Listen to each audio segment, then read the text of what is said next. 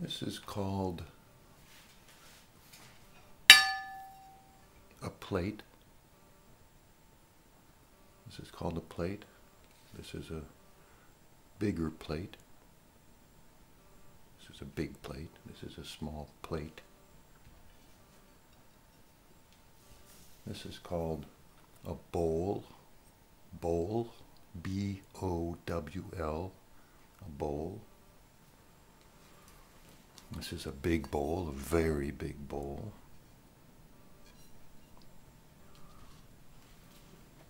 This is a spoon. This is a knife. A knife. You use a knife to cut things. You cut things with a knife. This is a fork. This is a fork.